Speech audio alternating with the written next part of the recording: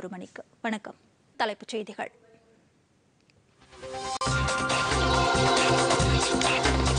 Corona தொற்று பரவல் தடுப்பு நடவடிக்கைகள் தொடர்பாக கிராம பஞ்சாயத்து தலைவர்களிடையே நாளை உரையாற்றுகிறார் பிரதமர் நரேந்திர மோடி.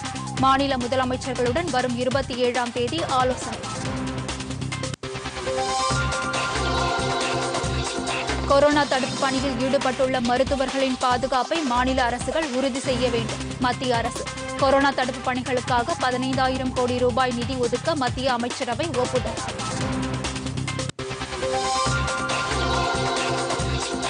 கொரோனா தடுப்பு பணியில் ஈடுபடுவோரை தாக்கினால் ஏழாண்டு வரை சிறை தண்டனையும் அபராதமும் விதிக்கும் அவசர சட்டத்திற்கு குடியரசுத் தலைவர் ராம்நாத் கோவிந்த் ஒப்புதல்.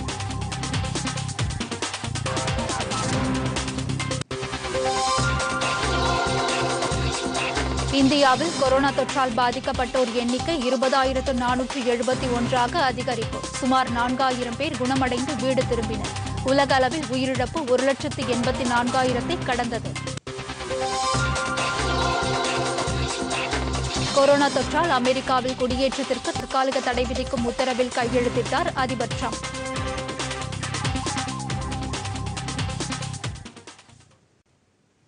முதல் கட்டமாக ஏழாயிரத்து எழுநூற்று எழுபத்தி நான்கு கோடி ரூபாய் உடனடியாக விடுவிக்கப்படும் என்றும் பின்னர் செய்தியாளரிடம் பேசிய மத்திய தகவல் ஒலிபரப்புத்துறை அமைச்சர் பிரகாஷ் ஜவடேகர் தெரிவித்தார். இந்த நிதியை கொண்டு கொரோனா தடுப்பு பணிக்கு தேவையான அனைத்து பொருட்களும் வாங்கப்படும் என்றும் மருத்துவர்கள் மற்றும் சுகாதார பணியாளர்களுக்கு தேவையான உபகரணங்களுக்கு தட்டுப்பாடு ஏற்படாமல் பார்த்துக் கொள்ளப்படும் என்றும் அவர் குறிப்பிட்டார்.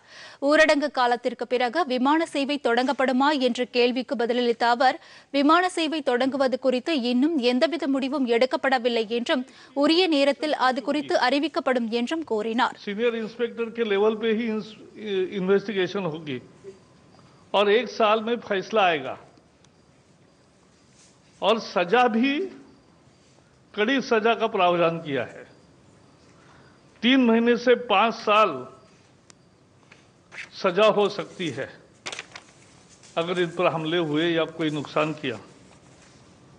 और पचास हज़ार से दो लाख रुपए तक का जुर्माना देना पड़ सकता है। पचास हज़ार से दो लाख रुपया। केसेस के ग्रेविटी पर तय होता है। और अगर बहुत गंभीर हमला है, गंभीर इंजुरी हुई है இதனிடையே சத்து பயிர்களுக்கு பயன்படுத்தப்படும் பாஸ்பேட் மற்றும் பொட்டாசியம் போன்ற உரங்களுக்கான மானிய தொகையை நிர்ணயிக்கவும் பொருளாதார விவகாரங்களுக்கான அமைச்சரவை குழு ஒப்புதல் அளித்துள்ளது.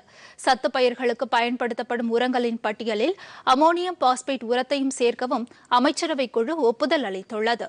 இதன்படி பாஸ்பேட் மற்றும் பொட்டாசியம் போன்ற உரங்களுக்கு இரண்டாயிரத்தி இருபது இருபத்தி ஓராம் ஆண்டுக்கான மானிய தொகையை விடுவிப்பதன் மூலம் சுமார் இருபத்தி இரண்டாயிரத்து நூற்றி எண்பத்தி ஆறு கோடி ரூபாய் அரசுக்கு செலவாகும் என்று எதிர்பார்க்கப்படுகிறது. ஒப்புதல் அளிக்கப்பட்ட மானிய தொகைப்படி இந்த மானியங்கள் சம்பந்தப்பட்ட உர தொழிற்சாலைகளுக்கு வழங்கப்படும். கொரோனா தொற்று தடுப்பு பணிகளில் ஈடுபட்டுள்ள மருத்துவர்கள் மற்றும் சுகாதார பணியாளர்களுக்கு எதிரான வன்முறைகளில் ஈடுபடுவோருக்கு மூன்று மாதங்கள் முதல் ஏழு ஆண்டுகள் வரை சிறை தண்டனை விதிக்க வகை செய்யும் அவசர சட்டத்திற்கு குடியரசுத் தலைவர் ராம்நாத் கோவிந்த் ஒப்புதல் அளித்துள்ளார். முன்னதாக நேற்று பிரதமர் நரேந்திர மோடி தலைமையில் நடைபெற்ற மத்திய அமைச்சரவைக் கூட்டத்தில் இந்த அவசர சட்டத்தை கொண்டுவர முடிவு செய்யப்பட்டது. ஆயிரத்து எண்ணூற்று தொன்னூற்று ஏழாம் ஆண்டு தொற்று நோய்கள் சட்டத்தில் திருத்தம் மேற்கொண்டு இத்தகைய அவசர சட்டம் பிறப்பிக்க பிறப்பிக்கப்பட்டது அதன்படி மருத்துவர்கள் செவிலியர்கள் மற்றும் சுகாதார பணியாளர்களுக்கு எதிராக வன்முறையில் ஈடுபடுவோருக்கு சிறை தண்டனையுடன் ஐம்பதாயிரம் முதல் ஐந்து லட்சம் ரூபாய் வரை அபராதம் விதிக்க இந்த சட்டத்திருத்தத்தில் வகை செய்யப்பட்டுள்ளது. இந்த சட்டத்திற்கு குடியரசுத் தலைவர் ராம்நாத் கோவிந்த் நேற்று ஒப்புதல் அளித்திருப்பதாக சுகாதாரத்துறை வெளியிட்ட அறிக்கை தெரிவிக்கிறது. முன்னதாக இந்த அவசர சட்டத்திற்கு மத்திய அமைச்சரவை நேற்று ஒப்புதல் வழங்கியது குறிப்பிடத்தக்கது. கொரோனா தொற்றை எதிர்த்து போராடும் மருத்துவர்கள் சுகாதார பணியாளர்களுக்கு போதிய பாதுகாப்பு வழங்கப்படுவதை மாநிலங்கள் மற்றும் யூனியன் பிரதேசங்கள் உறுதி செய்ய வேண்டும் என்று மத்திய அரசு கேட்டுக் கொண்டுள்ளது மருத்துவர்கள் மற்றும் சுகாதாரத்துறையினருக்கு எதிரான தாக்குதலில் ஈடுபடுவோருக்கு எதிராக கடும் நடவடிக்கை எடுக்கப்பட வேண்டும் என்றும் அனைத்து மாநிலங்களின் தலைமைச் செயலாளர்களுக்கும் மத்திய உள்துறை செயலாளர் அஜய்பல்லா அஜய் பல்லா எழுதியுள்ள கடிதத்தில் தெரிவித்துள்ளார். இதுபோன்ற விரும்பத்தகாத கொடூர செயல்களில் ஈடுபடுவோரை தடுத்து கொரோனாவால் பாதிக்கப்பட்டு உயிரிழப்போரின் உடல்களை பாதுகாப்பான முறையில் அடக்கம் செய்ய உரிய நடவடிக்கைகளை சம்பந்தப்பட்ட மாநில அரசுகள் மேற்கொள்ளப்பட வேண்டும் என்று அதில் அவர் கேட்டுக் கொண்டுள்ளார் இதுபோன்ற விரும்பத்தகாத குற்ற செயல்களில் ஈடுபடுவோருக்கு எதிராக கடும் நடவடிக்கை எடுக்கப்பட வேண்டும் என்றும் உள்துறை செயலாளர் வலியுறுத்தியுள்ளார். இந்த செயல்களை கண்காணிப்பதற்கு மாநில அரசுகள் மற்றும் யூனியன் பிரதேசங்கள் மாநில அளவிலோ அல்லது மாவட்ட அளவிலோ குறைகளை தீர்க்கக்கூடிய அதிகாரிகளை நியமிக்க வேண்டும் என்றும் அவர் கேட்டுக் கொண்டுள்ளார் மருத்துவ நிபுணர்கள் பாதுகாப்பான முறையில் செயல்படுவதற்கும் இருபத்தி நான்கு மணி நேரமும் அவர்களின் குறைகளை தீர்ப்பதற்கும் இந்த அதிகாரிகள் தேவையான உதவிகளை மேற்கொள்ள வேண்டும் என்றும் அவர் கேட்டுக் கொண்டுள்ளார். மக்களுக்கு கொரோனா தொற்று பரிசோதனை செய்ய செல்லும் மருத்துவர்கள் மற்றும் இதர மருத்துவ பணியாளர்களுக்கு போதுமான காவல்துறையினர் பாதுகாப்பை அளிக்க வேண்டும் என்றும் அஜய் பல்லா அந்த கடிதத்தில் வலியுறுத்தியுள்ளார். மத்திய உள்துறை அமைச்சர் அமித்ஷா உடனான பேச்சுவார்த்தையில் உடன்பாடு ஏற்பட்டதால் நாடு தழுவிய அளவில் அறிவிக்கப்பட்டிருந்த அடையாள போராட்டத்தை வாபஸ் பெறுவதாக இந்திய மருத்துவ சங்கம் அறிவித்துள்ளது. கொரோனா தொற்று தடுப்பு நடவடிக்கைகளில் ஈடுபட்டு வரும் மருத்துவர்கள் மற்றும் மருத்துவ பணியாளர்கள் மீது ஓரிரு இடங்களில் நடத்தப்பட்ட தாக்குதலை கண்டித்து நாடு தழுவிய அளவில் அடையாள போராட்டம் நடத்தப்போவதாக இந்திய மருத்துவ சங்கம் அறிவித்திருந்தது. இந்நிலையில் தில்லியில் நேற்று உள்துறை அமைச்சர் அமித்ஷா சுகாதாரத்துறை அமைச்சர் ஹர்ஷ் ஹர்ஷ்வர்தனுடன் சேர்ந்து காணொலி காட்சி மூலம் மருத்துவர்கள் மற்றும் மருத்துவ சங்க பிரதிநிதிகளுடன் ஆலோசனை நடத்தினார். அப்போது பேசிய அமித்ஷா கொரோனா தொற்று தடுப்பு பணியில் தங்களது உயிரையும் பொருட்படுத்தாமல் பணியாற்றி வரும் மருத்துவர்கள் மற்றும் மருத்துவ பணியாளர்களின் பாதுகாப்பில் மத்திய அரசு உறுதியுடன் இருப்பதாக தெரிவித்தார். இந்த பேச்சுவார்த்தையில் உடன்பாடு ஏற்பட்டதால் நாடு தழுவிய அளவில் அறிவித்திருந்த அடையாள போராட்டத்தை வாபஸ் பெறுவதாக இந்திய மருத்துவ சங்கம் அறிவித்துள்ளது. மத்திய மனிதவள மேம்பாட்டுத்துறை அமைச்சர் ரமேஷ் பொக்ரியால் நேற்று தில்லியில் மின்னணு மூலமான கற்றலுக்கு பங்களிப்பை பெறும் வகையில் வித்யாதான் இரண்டு புள்ளி பூஜ்ஜியம் என்ற தேசிய அளவிலான திட்டத்தை தொடங்கி வைத்தார். காணொலி காட்சி மூலம் நடைபெற்ற இந்த நிகழ்ச்சியில் மனிதவள மேம்பாட்டுத்துறை இணையமைச்சர் சஞ்சய் த்ரோ- தோட்ரே மற்றும் அதிகாரிகள் கலந்து கொண்டனர். கொரோனா தொற்று பாதிப்பால் எழுந்துள்ள சூழலில் நாடு முழுவதும் உள்ள மாணவர்களின் கல்வியை கருத்தில் கொண்டு அவர்கள் மின்னணு முறையில் பாடங்களை கற்பதற்கு ஏதுவாக இந்த திட்டம் தொடங்கி வைக்கப்பட்டுள்ளதாக மத்திய அரசு தெரிவித்துள்ளது. மின்னணு மூலமான கற்றலை மேம்படுத்தவும் டிஜிட்டல் கல்வியை ஒருங்கிணைக்கும் வகையிலும் இந்த திட்டம் தொடங்கப்பட்டுள்ளது. நாடு முழுவதும் உள்ள தனிநபர் மற்றும் அமைப்புகளை சேர்ந்தவர்களும் பள்ளிகளில் இருந்தவாறும் உயர்கல்விக்கான மின்னணு சாதனங்கள் மூலமாக பாடத்திட்டங்களை கட்டணமின்றி இந்த வித்யாதான் மூலம் பெற முடியும் என்று நிகழ்ச்சியில் பேசிய அமைச்சர் ரமேஷ் பொக்ரியால் தெரிவித்தார். மேலும் மாணவர்களுக்கு தரமான கல்வி வழங்குவதை உறுதி செய்யவும் இந்த திட்டம் உதவும் என்றும் அவர் குறிப்பிட்டார்.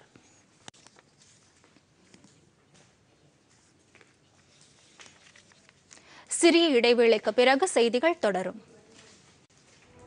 பொதிகை செய்தி பிரிவு வழங்கும் புதிய வெளிச்சம். இன்றைய நிகழ்ச்சியில் கொரோனா மருத்துவரை கேளுங்கள். பங்கு பெறுகிறார் குழந்தை பேறு மருத்துவர் உமையாள் முருகேசன். சந்திக்கிறார் கலைவாணி. இன்று மாலை ஏழு முப்பது மணிக்கு நேயர்கள் தொலைபேசி மூலம் தொடர்பு கொண்டு தங்களது சந்தேகங்களை தெளிவுபடுத்திக் கொள்ளலாம். நமது பொதிகையில் புதிய வெளிச்சம். காணத் தவறாதீர்கள். செய்திகள் தொடர்கின்றன. கோவிட் 19 அச்சுறுத்தல் காரணமாக அமல்படுத்தப்பட்டு வரும் ஊரடங்கிற்கு பொதுமக்கள் ஒத்துழைப்பு வழங்க வேண்டும் என்று மாநில உள்ளாட்சித்துறை அமைச்சர் எஸ் பி வேலுமணி கூறியுள்ளார். கோவையில் செய்தியாளரிடம் பேசிய அவர் ஊடகவியலாளர்கள் சமூக இடைவெளியை கடைபிடிக்க வேண்டும் என்றும் முடிந்தவரை செய்திகளை தொலைபேசி மூலமாக அளிக்கலாம் என்றும் குறிப்பிட்டார். கோவை மாவட்டத்தில் நோய் தொற்று ஏற்பட்ட நூற்று முப்பத்தி நான்கு நபர்களில் எண்பத்தி எட்டு நபர்கள் குணமடைந்து வீடு திரும்பியுள்ளதாக தெரிவித்தார். பதினைந்து அம்மா உணவகங்கள் மூலம் நாள்தோறும் இருபத்தி ஓராயிரத்து அறுநூறு பேருக்கு உணவு வழங்கப்பட்டு வருவதாக கூறிய அவர் ஒரு வாரத்திற்கு தேவையான பொருட்களை பொதுமக்கள் ஒரே நாளில் வாங்கிக் கொள்ள வேண்டும் என்றும் கேட்டுக்கொண்டார் ரேபிட் கிட் சோதனை நிறுத்தப்பட்டாலும் அரசு மருத்துவமனை இஎஸ்ஐ மருத்துவமனை ஆகிய இடங்களில் பிசிஆர் சோதனை நடைபெற்று வருவதாகவும் அமைச்சர் எஸ் பி வேலுமணி தெரிவித்தார். விருதுநகர் மாவட்டத்தில் கோவிட் 19 தடுப்பு நடவடிக்கைகள் தீவிரமாக மேற்கொள்ளப்பட்டு வருவதால் பொதுமக்கள் பாதுகாப்பாக உள்ளனர் என்று மாநில பால்வள பால்வளத்துறை அமைச்சர் ராஜேந்திர பாலாஜி கூறியுள்ளார். முன்னதாக விருதுநகர் மாவட்டத்தில் உள்ள எட்டு அம்மா உணவகங்களிலும் மூன்று வேளை இலவச உணவு வழங்கும் வகையில் எட்டு லட்சத்து அறுபதாயிரம் ரூபாய் நிதி வழங்கினார். பதினோரு நாட்களுக்கு இந்த நிதியின் மூலம் அம்மா உணவகங்களில் உணவு வழங்கப்பட உள்ளது. இதுகுறித்து செய்தியாளரிடம் பேசிய அவர் ஏழை எளிய மக்கள் பயனடையும் வகையில் அம்மா உணவகங்களில் உணவு வழங்க அஇஅதிமுக சார்பில் நிதி வழங்கப்பட்டுள்ளதாக தெரிவித்தார். விருதுநகர் மாவட்டத்தில் மருத்துவ பணியாளர்கள் தூய்மை பணியாளர்கள் மற்றும் காவல்துறையினர் சிறப்பாக செயல்பட்டு வருவதாக கூறினார். மக்களுக்கு பால் விநியோகம் செய்வதில் ஆவின் தொழிலாளர்கள் இரவு பகல் பாராது உழைத்து வருவதாகவும் அமைச்சர் ராஜேந்திர பாலாஜி தெரிவித்தார். மத்திய வரி வருவாய்க்கு அதிக அளவில் பங்களிப்பு செய்யும் தமிழகத்திற்கு அதிக நிதி பகிர்வு கிடைப்பதற்கான தேவையான பரிந்துரைகளை வழங்கி பதினைந்தாவது நிதிக்குழு அனைத்து மாநிலங்களுக்கும் பொதுவானது என்பதை நிலைநிறுத்த வேண்டும் என்று திமுக தலைவர் மு ஸ்டாலின் மாநில அரசை கேட்டுக் கொண்டுள்ளார் இதுகுறித்து அவர் வெளியிட்டுள்ள அறிக்கையில் மாநில நிதி உரிமையை மீட்டெடுக்க முதலமைச்சர் மத்திய அரசை வலியுறுத்துவதற்கு தேவையான ஒத்துழைப்பை திமுக நாடாளுமன்ற உறுப்பினர்கள் தயாராக இருப்பதாக குறிப்பிட்டுள்ளார்.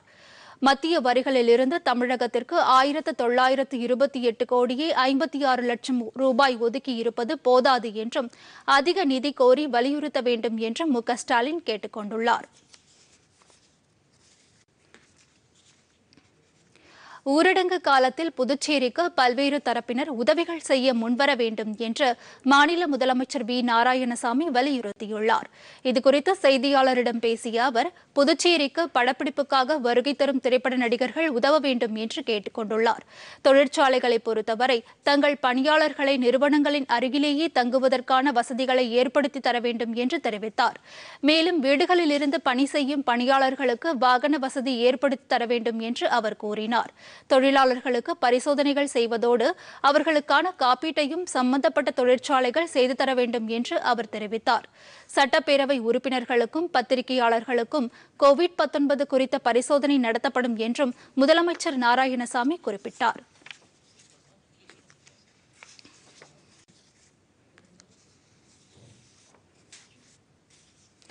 தூத்துக்குடி மாவட்டத்தில் நோய் தொற்றை தடுக்கும் வகையில் தனிமைப்படுத்தப்பட்ட பகுதிகளில் வசிக்கும் மக்களுக்கு தேவையான அத்தியாவசிய பொருட்களை மாநகராட்சி நிர்வாகம் மற்றும் தன்னார்வ ஆள்- ஆர்வலர்கள் சிறப்பாக வழங்கி வருவதாக பயனாளிகள் தெரிவிக்கின்றனர். இதற்கான தகுந்த நடவடிக்கைகளை எடுத்து வரும் அரசுக்கும் அவர்கள் நன்றி தெரிவித்துக் கொண்டனர். உடனே செஞ்சு கொடுக்குறாங்க. நாங்கள் வந்து ஒரு ஆறு எங்கள் ஏரியா மக்கள் வந்து ஒரு ஆறு பேர் ஏழு பேர் பாதிக்கப்பட்டிருந்தாங்க. இருப்பினும் இந்த க மாநகராட்சி எடுக்கின்ற இந்த கிருமி நாசினி மூலமாகவோ மாத்திரை மருந்துனாலாகவோ உணவுப் பொருட்களாலுமே நாங்கள் வந்து மனதளவில் எந்த விதத்திலுமே வந்து குறை கிடையாது. அதனால் உதவி செய்த அனைத்து தமிழக க- தமிழக அரசாங்கத்திற்கும் மற்றும் தூத்துக்குடி மாநகராட்சி மக்களுக்கும் என்னுடைய தொ- என்னுடைய ஏரியா சார்பாகவும் என்னுடைய சார்பாகவும் என்னுடைய ம- இதயங்கறிந்த நன்றிகளை சம். இந்த பகுதியில் பூரா காலையில் பால் வருது காய்கறிகள் கொண்டு வராங்க.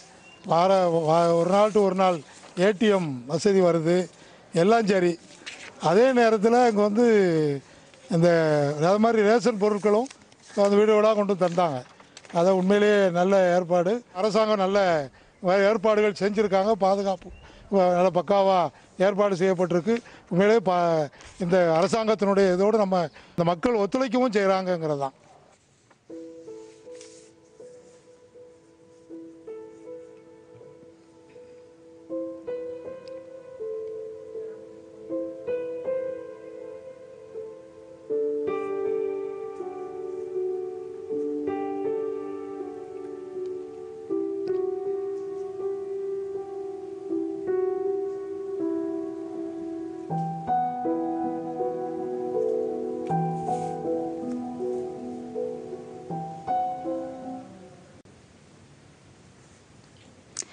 கொரோனா நோய் தடுப்பு பணியில் ஈடுபட்டு வரும் மருத்துவம் காவல் உள்ளாட்சி தூய்மை உள்ளிட்ட அனைத்து துறை பணியாளர்கள் நோய் தொற்றுக்கு உள்ளாகி உயிரிழந்தால் அவர்களது குடும்பத்தினருக்கு ஐம்பது லட்சம் ரூபாய் நிதியுதவி வழங்கப்படும் என்று முதலமைச்சர் எடப்பாடி பழனிசாமி அறிவித்துள்ளார். கொரோனா தடுப்பு பணியில் ஈடுபட்டுள்ள அரசு மருத்துவர்கள் செவிலியர்களுடன் முதலமைச்சர் எடப்பாடி பழனிசாமி நேற்று காணொலி காட்சி மூலம் ஆலோசனை நடத்தினார். பின்னர் அவர் வெளியிட்ட அறிக்கையில் கொரோனா தொற்றை தடுக்க போர்க்கால அடிப்படையில் பணிபுரிந்து வரும் மருத்துவத்துறை காவல்துறை உள்ளாட்சித்துறை மற்றும் தூய்மை பணியாளர்கள் உள்ளிட்ட அனைத்து துறை பணியாளர்களும் நோய் தொற்றுக்கு உள்ளாகி உயிரிழக்க நேரிட்டால் அவர்களது குடும்பத்தாருக்கு ஏற்கனவே அறிவிக்கப்பட்ட பத்து லட்சம் ரூபாய்க்கு பதிலாக ஐம்பது லட்சம் ரூபாய் நிதியுதவி வழங்கப்படும் என்று அறிவிப்பதாக தெரிவித்துள்ளார். மேலும் கொரோனா தொற்றால் உயிரிழக்கும் அத்தியாவசிய பணியாளரின் குடும்ப உறுப்பினர் ஒருவருக்கு தகுதியின் அடிப்படையில் அரசு பணி வழங்கப்படும் என்று முதலமைச்சர் தெரிவித்துள்ளார். தன்னலமற்ற பணியில் நோய் தொற்றுக்கு ஆளாகி உயிரிழப்பவர்களின் பணிக்கு நன்றிக்கடன் செலுத்துவது அரசின் கடமை என்றும் அவர்களது உடலை பாதுகாப்புடனும் உரிய மரியாதைகளுடனும் அடக்கம் செய்ய அரசு உரிய நடவடிக்கை மேற்கொள்ளும் என்றும் முதலமைச்சர் கூறியுள்ளார். அத்தியாவசிய பணியில் ஈடுபட்டு உயிரிழக்க நேரிடும் தனியார் மற்றும் அரசு பணியாளர்களின் பணியை பாராட்டி அவர்களுக்கு உரிய விருதுகளும் பாராட்டு சான்றிதழ்களும் வழங்கப்படும் என்றும் அறிவிக்கப்பட்டுள்ளது. இதற்கிடையே தமிழகத்தில் நேற்று மட்டும் முப்பத்தி மூன்று பேருக்கு கொரோனா தொற்று உறுதி செய்யப்பட்டிருப்பதாகவும் இதையடுத்து இந்த தொற்றால் பாதிக்கப்பட்டோர் எண்ணிக்கை ஆயிரத்து அறுநூற்று இருபத்தி ஒன்பதாக அதிகரித்துள்ளது என்றும் மாநில மக்கள் நல்வாழ்வுத்துறை தெரிவித்துள்ளது. நேற்று வரை தமிழ்நாட்டில் பதினெட்டு பேர் உயிரிழந்துள்ளனர். நேற்று இருபத்தி ஏழு பேர் குணமடைந்து வீடு திரும்பிய நிலையில் இதுவரை சிகிச்சைக்கு பின்னர் அறுநூற்று அறுபத்தி இரண்டு பேர் குணமடைந்திருப்பதாக சுகாதாரத்துறை அமைச்சகம் செய்திக்குறிப்பு தெரிவிக்கிறது.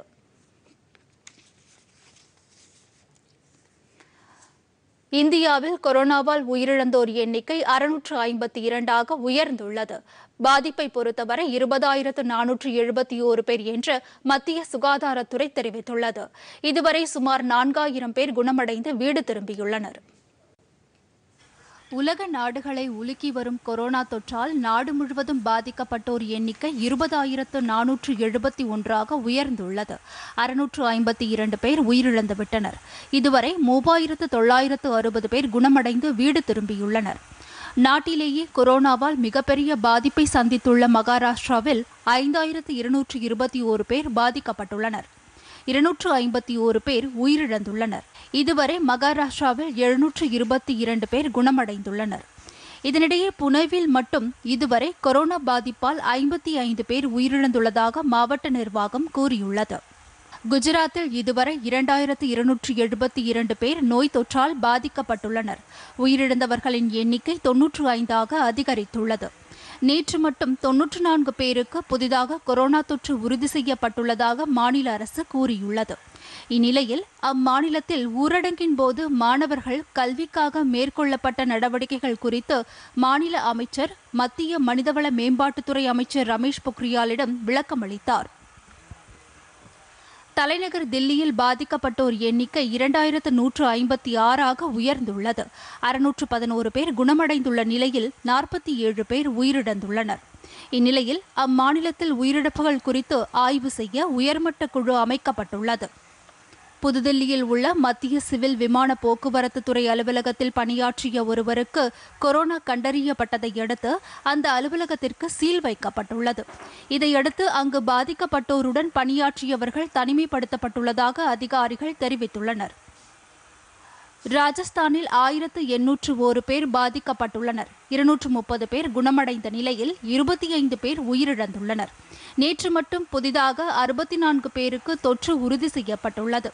இதனிடையே ஜெய்ப்பூரில் கொரோனா தடுப்பு நடவடிக்கைகள் குறித்து ஆய்வு செய்ய மத்திய குழு அங்கு சென்றுள்ளது. மத்திய பிரதேசத்தில் ஆயிரத்து ஐநூற்று தொன்னூற்று இரண்டு பேர் பாதிக்கப்பட்டுள்ள நிலையில் எண்பது பேர் உயிரிழந்துள்ளனர்.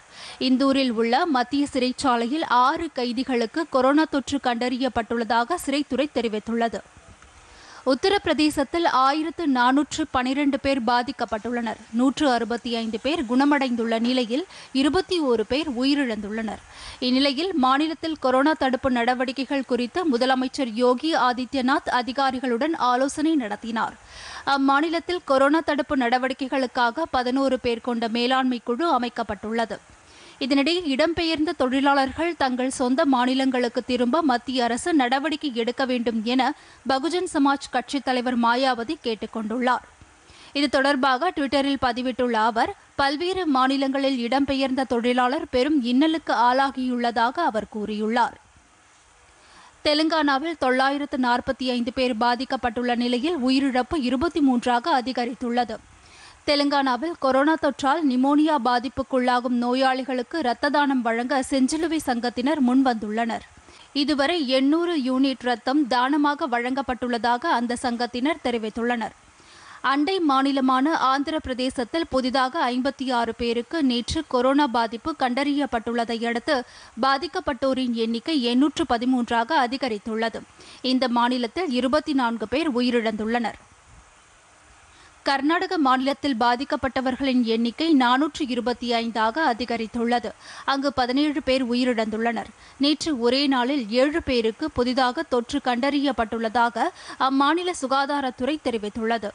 மேற்கு வங்கத்தில் நானூற்று இருபத்தி மூன்று பேர் பாதிக்கப்பட்டு பதினைந்து பேர் உயிரிழந்துள்ளனர். பஞ்சாப் மாநிலத்தில் பதினாறு பேர் உயிரிழந்திருப்பதுடன் இருநூற்று ஐம்பத்தி ஓரு பேருக்கு பாதிப்பு ஏற்பட்டுள்ளது. கேரளாவில் மூன்று பேர் மட்டுமே உயிரிழந்துள்ளனர்.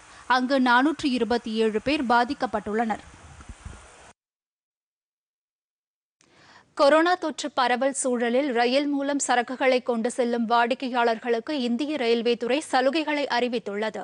அதன்படி மின்னணு முறையில் வாடிக்கையாளர்கள் தங்கள் சரக்கு தேவைகள் குறித்து பதிவு செய்ய முடியும் என்றும் காலம் தாழ்த்துதல் கட்டணம் தங்கும் கட்டணம் உறுதிப்படுத்தாத கட்டணம் ஆகியவை பரிந்துரைக்கப்பட்டுள்ள இலவச நேரம் முடிந்த பிறகு வசூலிக்கப்படும் என்று ரயில்வே அமைச்சகம் அறிவித்துள்ளது.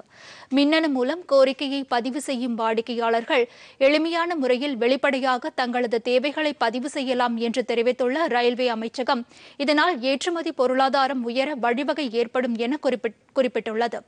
மின்னணு முறையில் பதிவு செய்யப்பட்ட ரயில்வே பதிவுச் சீட்டை தேர்வு செய்வதற்கு வாடிக்கையாளர்கள் ஊக்குவிக்கப்படுவதாகவும் சரக்குகள் சென்று சேரும் இடத்திற்கு அசல் சீட்டை கொண்டு செல்ல வேண்டியதில்லை என்றும் ரயில்வே அமைச்சக செய்திக்குறிப்பு தெரிவிக்கிறது.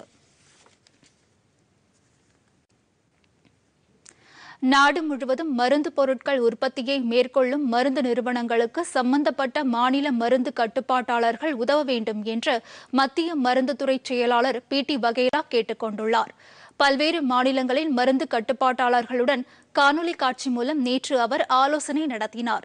தேசிய மருந்து விலை ஆணையத்தின் தலைவரும் இந்த ஆலோசனையில் கலந்து கொண்டு மருந்துகள் உற்பத்தி மற்றும் அவற்றை வழங்குவதில் உள்ள பிரச்சினைகள் தொடர்பாக கேட்டறிந்தனர். நாடு முழுவதும் கொரோனா தொற்றுக்கு சிகிச்சை அளிக்கக்கூடிய அத்தியாவசிய மருந்துகள் மற்றும் மருத்துவ உபகரணங்கள் போதிய அளவில் கையிருப்பில் உள்ளதை மாநில மருந்து கட்டுப்பாட்டாளர்கள் உறுதிப்படுத்தப்பட வேண்டும் என்று அப்போது வலியுறுத்தப்பட்டது. அனைத்து நிலைகளிலும் எந்தவித இடையூறுமின்றி போதுமான மருந்துகள் இருப்பை இருப்பை உறுதிப்படுத்த முழுமையான அளவு மருந்து உற்பத்தி திறனை சம்பந்தப்பட்ட அதிகாரிகள் உறுதிப்படுத்த வேண்டும் என்று அப்போது மத்திய அரசின் அதிகாரிகள் கேட்டுக்கொண்டனர். உற்பத்தி அளவை அதிகரிக்குமாறும் அவர்கள் மாநில அதிகாரிகளுக்கு அறிவுறுத்தினர். கோவிட் 19 தொற்றால் பாதிக்கப்பட்டு உயிரிழப்பவர்களின் உடல்களை அடக்கம் செய்ய காவல்துறை பாதுகாப்பு கோரிய வழக்கை சென்னை உயர்நீதிமன்றம் முடித்து வைத்து உத்தரவிட்டது. இதுகுறித்த வழக்கை காணொலி காட்சி மூலம் விசாரித்த நீதிபதிகள் சத்யநாராயணன் நிர்மல் குமார் ஆகியோர் அடங்கிய அமர்வு இந்த விவகாரம் தொடர்பாக ஏற்கனவே நீதிமன்றம் தாமாக முன்வந்து வழக்கு பதிவு செய்து அரசுக்கு நோட்டீஸ் அனுப்பியுள்ளதால் இந்த வழக்கை முடித்து வைப்பதாக கூறியது. முன்னதாக கோவிட் 19 பாதிப்புக்குள்ளானவர்களுக்கு சிகிச்சை அளிக்கும் மருத்துவர்கள் செவிலியர்கள் மற்றும் சுகாதார பணியாளர்களும் நோய் தொற்றால் உயிரிழக்கும் நிலையில் அவர்களது உடல்களை கண்ணியத்துடனும் மரியாதையுடனும் அடக்கம் செய்ய முடியாத சூழ்நிலை ஏற்பட்டுள்ளதால் காவல்துறை பாதுகாப்பு வழங்கப்பட வேண்டும் என்று மனுதாரர் கூறியிருந்தார். புதுக்கோட்டை மாவட்டம் அரிமளம் ஊராட்சி ஒன்றியத்தை சேர்ந்த மிரட்டுநிலை கிராமத்தில் மேற்கொள்ளப்பட்டுள்ள பாதுகாப்பு நடவடிக்கைகளை மாவட்ட ஆட்சியர் உமா மகேஸ்வரி ஆய்வு செய்தார்.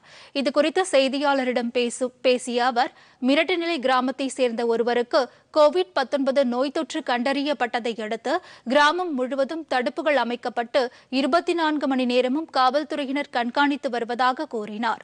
இக்கிராமத்தை சுற்றியுள்ள எட்டு கிலோமீட்டர் தொலைவிற்கு கிருமி நாசினி தெளிக்கும் பணியும் மருத்துவ குழுக்கள் மூலம் பரிசோதனைகளும் நடைபெற்று வருவதாக தெரிவித்தார். புதுக்கோட்டை அரசு மருத்துவக் கல்லூரி மருத்துவமனையில் நோய் தொற்று கண்டறியும் வகையில் ஆர்டி பிசிஆர் கருவி கொண்டுவரப்பட்டுள்ளதாகவும் மாவட்ட ஆட்சியர் உமா உமாமகேஸ்வரி கூறினார்.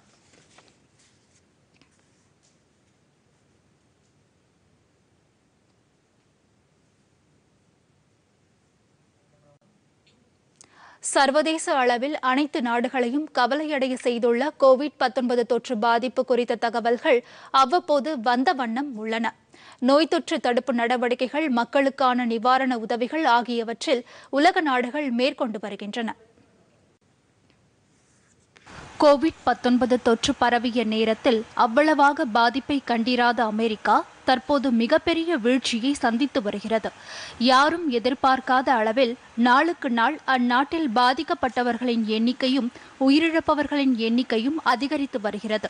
இதுவரை எட்டு லட்சத்து நாற்பத்தி எட்டாயிரம் பேர் பாதிக்கப்பட்டு அதில் எண்பத்தி நான்காயிரம் பேர் மட்டும் குணமடைந்துள்ளனர். உயிரிழந்தவர்களின் எண்ணிக்கை நாற்பத்தி ஏழாயிரத்து அறுநூறை தாண்டியுள்ளது. கடந்த இருபத்தி நான்கு மணி நேரத்தில் மட்டும் ஆயிரத்து எழுநூற்று முப்பத்தி எட்டு பேர் அமெரிக்காவில் உயிரிழந்துள்ளனர். தொடக்கத்தில் பெருமளவில் நோய் தொற்றால் பாதிப்பை எதிர்கொண்ட இத்தாலியில் தற்போது பாதிப்பு குறைந்து வருகிறது. ஒரு லட்சத்து எண்பத்தி ஏழாயிரம் பேர் பாதிக்கப்பட்டு பின்னர் ஐம்பத்தி நான்காயிரத்து ஐநூறு பேர் குணமடைந்துள்ளனர். இருபத்தி ஐந்தாயிரம் பேர் உயிரிழந்தனர். ஸ்பெயின் நாட்டில் இரண்டு லட்சத்து எட்டாயிரம் பேர் பாதிக்கப்பட்டு எண்பத்தி ஐந்தாயிரம் பேர் குணமடைந்துள்ளனர். இருபத்தி ஓராயிரத்து எழுநூறு பேர் உயிரிழந்துள்ளனர். அந்நாட்டில் புதிதாக பாதிக்கப்படுவோரின் எண்ணிக்கையும் உயிரிழப்புகளும் குறைந்து வருவதால் தொற்று குறைவதற்கான அறிகுறிகள் தென்படுவதாக அந்நாட்டு சுகாதாரத்துறையினர் கூறியுள்ளனர். பிரான்சில் ஒரு லட்சத்து ஐம்பத்தி ஒன்பதாயிரம் பேர் அமெரிக்காவிற்குள் தற்காலிக குடியேற்றத்தை தடை செய்து பிறப்பிக்கப்பட்டுள்ள உத்தரவில் அந்நாட்டு அதிபர் டொனால்டு ட்ரம்ப் கையெழுத்திட்டுள்ளார். கோவிட் 19 காரணமாக பாதிக்கப்பட்டுள்ள அமெரிக்க குடிமக்களின் வேலைவாய்ப்பை பாதுகாப்பும் வகையில் அறுபது நாட்களுக்கு குடியேற்றத்தை நிறுத்தி வைப்பதாக ட்ரம்ப் அறிவித்துள்ளார். இந்த இடைக்கால தடையால் சட்ட ரீதியாக அமெரிக்காவுக்கு வேலைவாய்ப்பை பெற்று செல்பவர்களுக்கு பாதிப்பு ஏற்பட்டுள்ளது. எனினும் ஏற்கனவே அங்கு வசிப்பவர்களுக்கு எந்த பாதிப்பும் கிடையாது என்று ட்ரம்ப் கூறியுள்ளார். எனினும் சுகாதார பணியாளர்கள் நிரந்தரமாக குடியேறவுள்ள முதலீட்டாளர்கள் ஆகியோருக்கு இந்த உத்தரவு பொருந்தாது என்றும் அமெரிக்க வெள்ளை மாளிகை தெளிவுபடுத்தியுள்ளது இனி தொடர்வது நாளிதழ்களில் இன்று.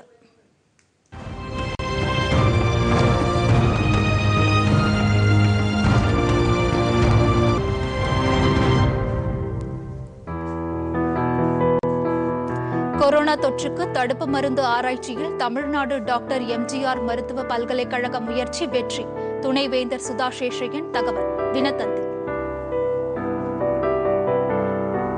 அனைத்து குடும்ப அட்டைதாரர்களுக்கும் மே மாதத்துக்கான பொருட்கள் இலவசம். டோக்கன் வழங்கும் பணி நாளை தொடக்கம். தினமணி. கொரோனா தொடர்பான செய்திகளை சேகரிக்கும் பணியில் ஈடுபடும் பத்திரிகையாளர்கள் தகுந்த பாதுகாப்புடன் பணியாற்ற வேண்டும். மத்திய அரசு அறிவுறுத்தல். தினமலர். மருத்துவர் செவிலியர்கள் உள்ளிட்ட சுகாதார பணியாளர்களை காலி செய்யுமாறு வீட்டு உரிமையாளர்கள் சொன்னால் கடும் நடவடிக்கை. தமிழக அரசு எச்சரிக்கை தினகரன்.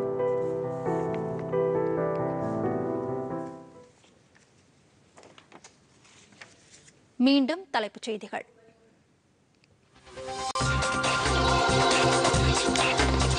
கொரோனா தொற்று பரவல் தடுப்பு நடவடிக்கைகள் தொடர்பாக கிராம பஞ்சாயத்து தலைவர்களிடையே நாளை உரையாற்றுகிறார் பிரதமர் நரேந்திர மோடி. மாநில முதலமைச்சர்களுடன் வரும் இருபத்தி ஏழாம் தேதி ஆலோசனை. கொரோனா தடுப்பு பணியில் ஈடுபட்டுள்ள மருத்துவர்களின் பாதுகாப்பை மாநில அரசுகள் உறுதி செய்ய வேண்டும். மத்திய அரசு கொரோனா தடுப்பு பணிகளுக்காக பதினைந்தாயிரம் கோடி ரூபாய் நிதி ஒதுக்க மத்திய அமைச்சரவை ஒப்புதல்.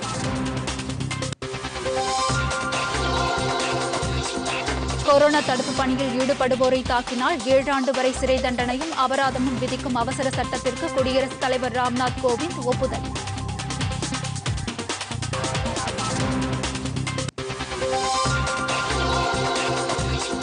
இந்தியாவில் கொரோனா தொற்றால் பாதிக்கப்பட்டோர் எண்ணிக்கை இருபதாயிரத்து நானூற்று எழுபத்தி ஒன்றாக அதிகரிப்பு. சுமார் நான்காயிரம் பேர் குணமடைந்து வீடு திரும்பினர். உலக அளவில் உயிரிழப்பு ஒரு லட்சத்து எண்பத்தி நான்காயிரத்தை கடந்தது. கொரோனா தொற்றால் அமெரிக்காவில் குடியேற்றத்திற்கு தற்காலிக தடை விதிக்கும் உத்தரவில் கையெழுத்திட்டார் அதிபர் டிரம்ப்.